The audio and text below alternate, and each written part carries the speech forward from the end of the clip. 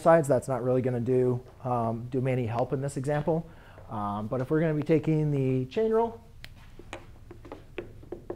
derivative of uh, cosine is going to be negative sine of our inside function, ln of 4x cubed, times the derivative of our inside function. So again, which is u prime over u. So u prime in this case is going to be 12x squared over 4x cubed.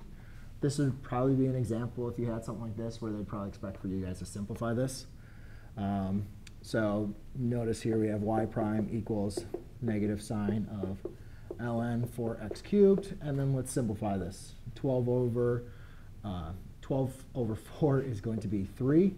x squared divided by x is going to be uh, x to the first power. So you could rewrite it as a negative power, or we could just rewrite it like this. y prime equals negative 3 sine of ln of 4x cubed all over x. Yes?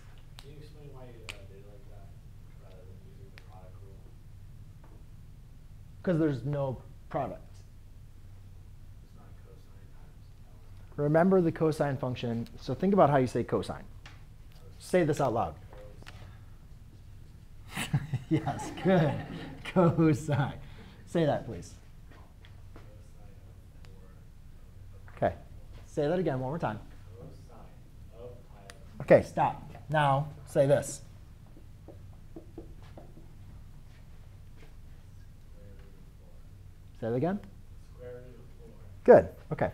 Um, does anybody notice what he? Do anybody notice with the one word? It's of. You taking of like, for instance, this makes no sense. Hey, what is this answer? I have no idea. Like, there's what? You're taking the square root of something. Cosine's the same thing. You're taking the cosine of something. That's exactly what we're doing. You're taking the cosine of this, so it's not multiplication, right? Cosine in and by itself makes no sense. If you're taking the cosine of something, it makes sense. Make sense? Okay. Yes. You got another one? All right. This will be the last one unless anybody else has one that they want.